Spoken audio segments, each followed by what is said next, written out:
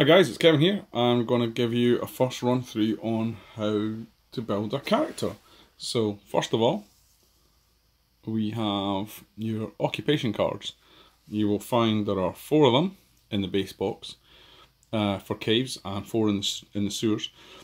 For each of these occupations, uh, they are female and male, okay? All of them have double-sided artwork and the way they differentiate between them obviously is you have a different piece of art. You have different attributes here. And the knife block on the right hand side is your default weapon. We'll come to that but it's the same stats on each one. So basically you're differentiating on what art you would like the attributes you want and most importantly the speciality in the top right. You see this figure here. So what I'm going to do uh, at random here is select the Student, let's take a female student. So we have a female student with Arcane. Here are the attributes. In particular, she has very good reason. Um, reasonable will and handle. Not so good at talking or doing anything physical. Okay, so that is our student there. The next thing we need to do is build in a weapon. So I did say that she comes with the default weapon as the knife, but that's that's ambitious just to rely on that, uh, even though we are doing grim and gritty and penniless here. So what I'm going to do now is have a look at our weapon cards that come with, with that come with the game. Note that each of the weapon cards has a, a base side with this tarnished some this tarnished effect here and then you upgrade it to get this gunmetal effect and it will say upgraded in the top okay? So please be aware of that. Also you have this part here where you can break them. That's only if you choose to play uh, legendary difficulty level. So for this case just now I'm going to take the rough bow. You can take any weapon you want.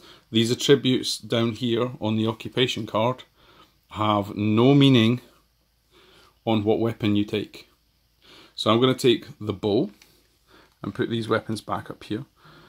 And now what I'm going to do is take the tarnished side because it's on it's not upgraded and slot that down here on the occupation card. So we now have we now have a student with a bow. Note this metal part here defines where to put your weapons. So you've got enough space for one weapon, two weapons at the moment. We only begin with one, so we're going to take this one here. Okay, so we start the game with three talents. The next thing we're going to do is go to our talents pile. So you will come with all these weapon talents that come with the game. Uh, the weapon talents will have an applicable uh, picture on them. So in this case, uh, I actually have three choices for the bow. Really important that you pick the same family. See the weapon, the bow family here from the card. You must have that family to match to be able to use it. So in this case, I quite fancy being able to do a quick draw. So I'm going to take the quick draw card and put the remaining weapon talents back. And put this quick draw card down here. So my talent, my weapon talent, is now beneath my weapon next to my occupation card. Finally, we're going to do some, we're going to pick two skill talents. Your skill talents here are all, are all like so. And in this case here, I'm going to begin with Arcane Theory and Botanist. You can take any two that you wish, okay? The important point to remember is that this book here, the skill talent, is trying to show you that you should place it beneath the book on the card, okay? So if I now move this slightly to here, okay, you have an assembled character which has an occupation card, a weapon, a weapon talent, two skill talents.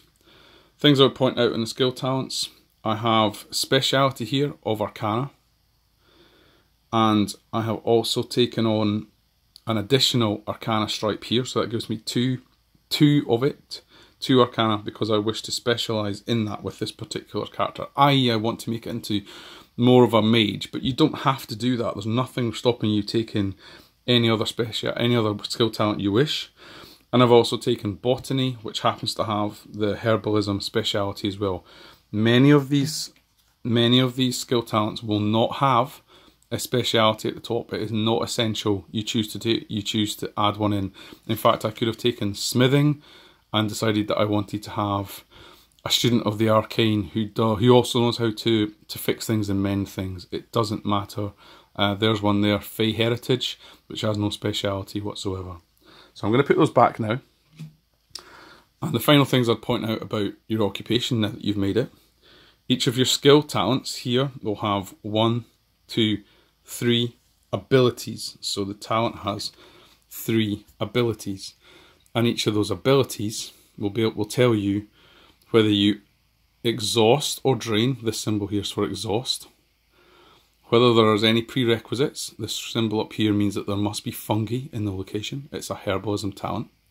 Okay, and then what you do, what you do with the ability to use it. So you exhaust the talent like so, and that means you've you've taken on the particular ability.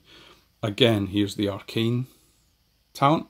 You'll see we've got an exhaust, an exhaust, and an exhaust. So you play one of these abilities this one here is telling you that it's a ranged attack. Play use as a ranged attack.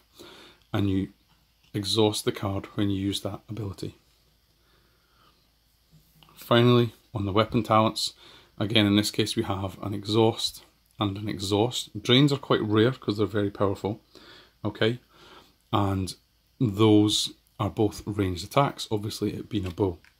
Just to give you an example, so we can see while we're here, Here's Rapid Shot.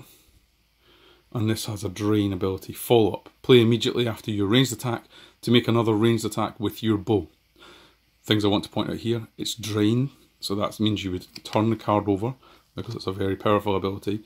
It's a ranged attack. And this is the PAR icon. Play after you roll. You always play your ability before you roll unless the PAR icon is present. So, that is us built our basic character just now. I'm going to stop there, guys. Thanks.